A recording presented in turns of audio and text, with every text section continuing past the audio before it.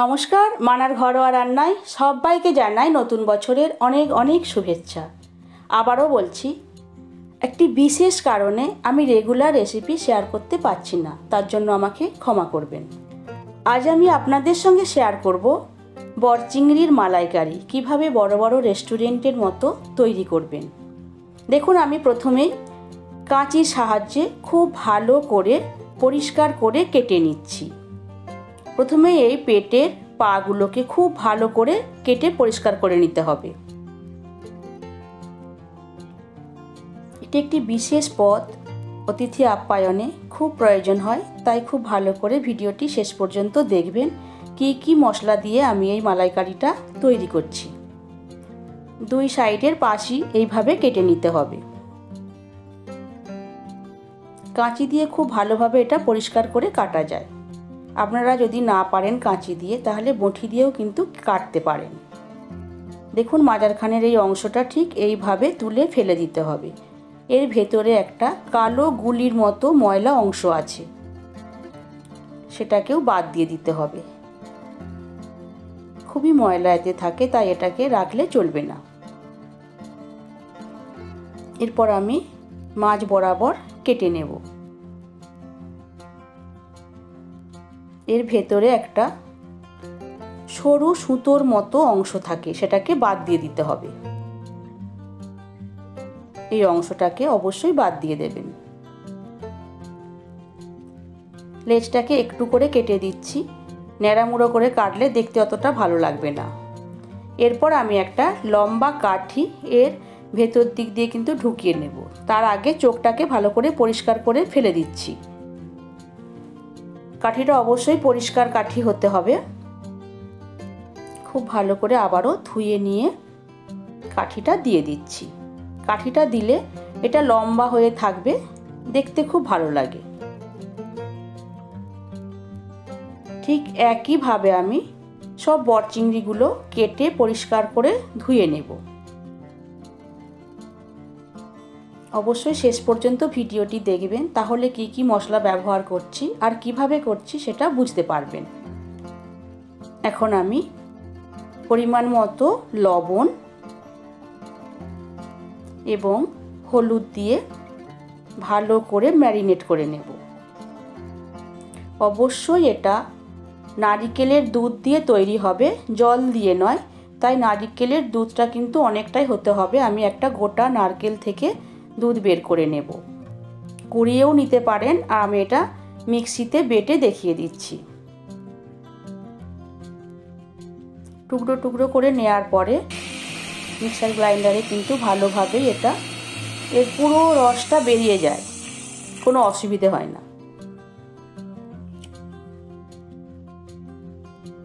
এখন আমি একটা কাপড়ের ওপরে দিয়ে চাপ দিয়ে চাপ দিয়ে নারকেলের দুধটাকে আলাদা করে নেব।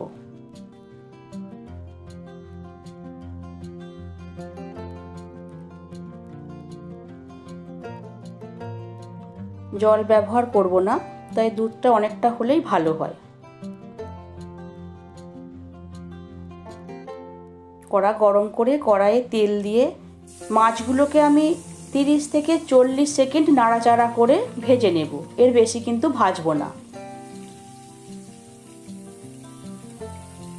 তিরিশ থেকে চল্লিশ সেকেন্ড ভাজলেই এটা ভাজা ভাজা হয়ে যাবে।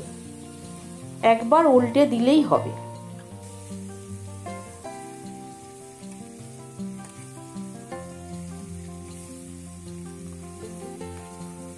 এবার আমি মাছগুলোকে তুলে নেব।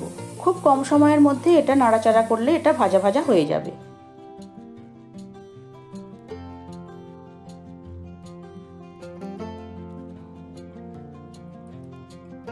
বাড়িতে খুব টেস্টফুল অনায়াসেই বানানো যায়।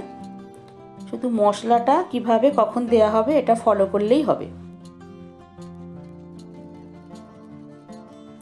একই তেলে আমি গোটা গরম মশলা দিয়ে দিলাম এবং কাঁচা লঙ্কা। তার উপরে আমি টু টেবিল স্পুন পেঁয়াজ বাটা দিচ্ছি।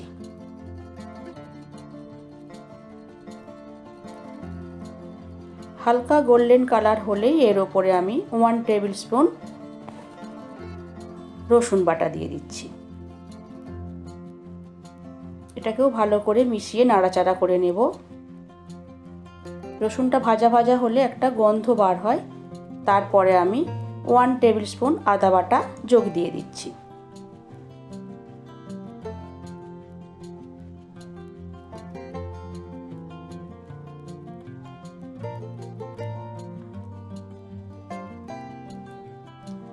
ওয়ান টেবিল স্পুন হলুদ এবং ওয়ান টেবিল স্পুন লঙ্কার গুঁড়ো দিয়ে দিলাম।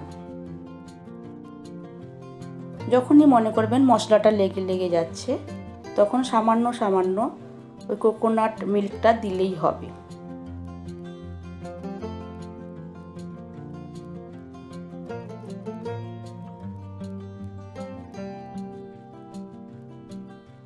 কাজু এবং পোস্ত বাটা আমি দিয়ে দিলাম এখানে one tablespoon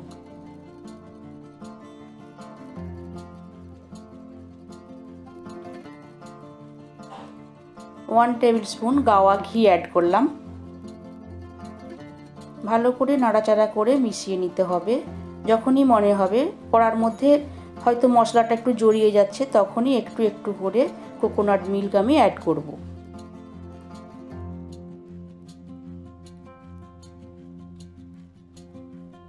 half tablespoon এখানে আমি রেড চিলি পাউডার অ্যাড করলাম। এটা একদম অপশনাল ব্যাপার, দিতেও পারেন, নাও পারেন। এখানে আমি থ্রি টেবিল স্পুন টক দই ফেটিয়ে রেখেছিলাম, সেটা অ্যাড করে দিলাম। এবার আমি মশলাটা চার থেকে পাঁচ মিনিট নাড়াচাড়া করে ঠিক যতক্ষণ না পর্যন্ত তেল বের হয় আমি মশলাটা তৈরি করতে থাকব। এখানে আমি হাফ টেবিল স্পুন চিনি এবং পরিমাণ মতো আরও একটু লবণ অ্যাড করেছি। মশলাটা একদম তৈরি হয়ে গেছে, এর মধ্যে আমি ভাজা চিংড়ি মাছগুলো দিয়ে তিন মিনিট কষিয়ে নেব। আপনারা যদি মাছটা না ভাজতে থান, তাহলে কিন্তু এই সময়ে কাঁচা মাছ দিয়ে কষিয়ে নিলেই হবে।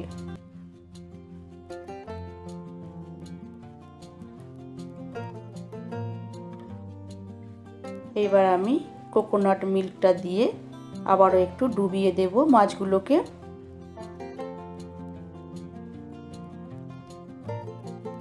ঢেকে রাখব পাঁচ মিনিট। একদম লো ফ্লেমে এটাকে পাঁচ মিনিট পর আমি দেখুন ঢাকা খুললাম। পাঁচ মিনিট ঢেকে লো ফ্লেমে রাখলে একদম তৈরি হয়ে যাবে। এটা সার্ভিং প্লেটে দেওয়ার পরে যখন আমি গ্রেভিটা দেবো তখন বুঝতে পারবেন গ্রেভিটা কতটা মোটা হয়েছে। বাড়িতে ট্রাই করবেন, যদি ভালো লাগে লাইক করবেন আর শেয়ার করতেও কিন্তু ভুলবেন না। অবশ্যই কেমন হলো আমাকে জানাবেন।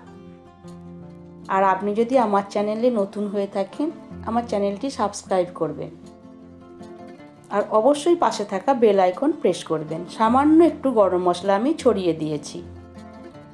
দেখতে যেমন সুন্দর হয়েছে, খেতে ততটাই সুন্দর হয়েছে।